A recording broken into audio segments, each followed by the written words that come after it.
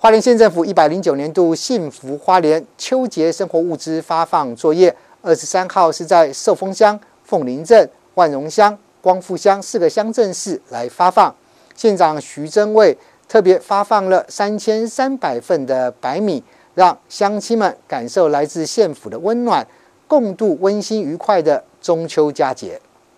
县长徐正伟开心的与乡亲互动，预祝大家佳节愉快。同时也提到天气逐渐转凉，入夜之后早晚温差大，提醒乡亲外出要记得多加件衣服。徐县长也提及即将在十月十七到十月二十二号举办的全民运动会，也欢迎乡亲亲临现场为选手加油打气，也鼓励乡亲保持良好的运动习惯，也期盼共同推动全民运动风气。现在好像。最近比较凉爽一点。啊，呃，哈娜，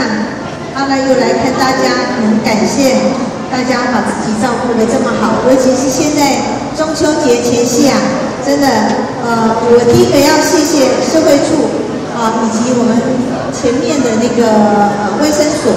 长期以来服务我们的地方的乡亲，哦，让我们大家哦，这个都能够哦得到。应有的照顾，那哈娜也希望哦，今天我们社会处有很多人来，尤其是陈家峰处长也在这里，对不对？如果你在生活上或者是就业上有任何的困难或困扰，请大家不要忘记找他，好不好？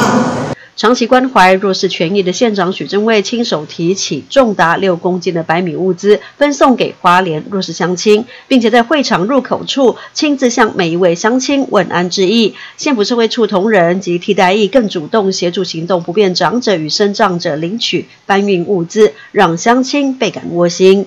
记者林杰中区综合报道。